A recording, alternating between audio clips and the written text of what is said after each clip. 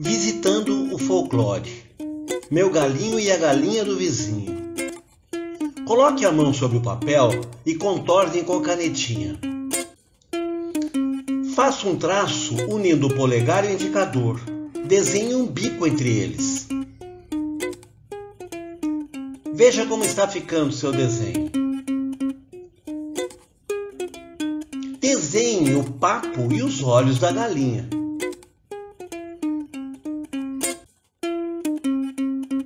Depois pinte.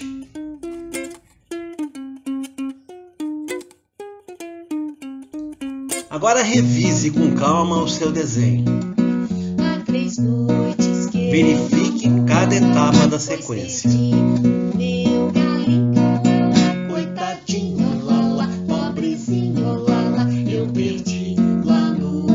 Olha lá, meu galinho.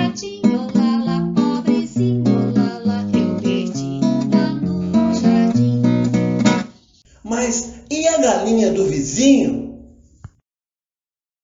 A galinha do vizinho bota ovo amarelinho, bota um, bota dois, bota três, bota quatro, bota cinco, bota seis, bota sete, bota oito, bota nove, bota dez.